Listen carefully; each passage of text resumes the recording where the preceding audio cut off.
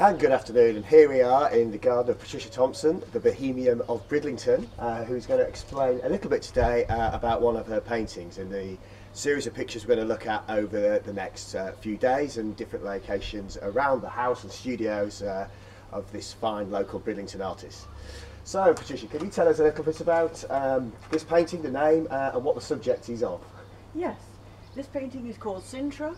She's a beautiful catch. She was commissioned in Bermuda in America in as long ago as 1959.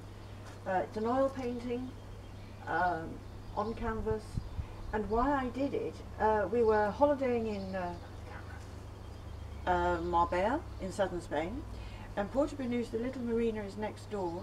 And we're there for the day, and we're on the harbour, and we're at the seafront, watching all the beautiful people going by. And this beautiful yacht was moored, uh, and she was very quiet because everyone was around, was away.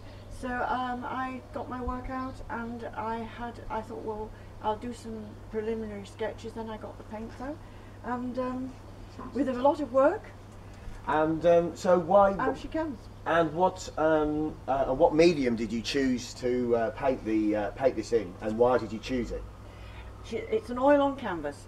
I work a lot in watercolours, pen and wash, drawings, every medium. But I thought this needed the gravitas of oil, which I do a certain amount a year, and that she is one of them. Uh, and so, Patricia, could you tell me something uh, a little bit about the complexities uh, and challenges you found uh, whilst painting this uh, painting in Porto Banús? Yes, yes, I can tell you a little bit. Obviously, being such a beautiful uh, nautical subject, I wanted to stay as true as I could. For instance, there are various little nautical marine points. One being that the ensign, to you a flag, a red duster, has to just the end of the flag just dips into the water. This is nautical naval tradition, long held by the navy. Uh, as you can see, just down here. As you can see, the rigging, everything I have tried to be as true as possible. Uh, I've had a little bit of research and some help from various um, nautical friends, and we have family who are rather, rather into a lot of sailing.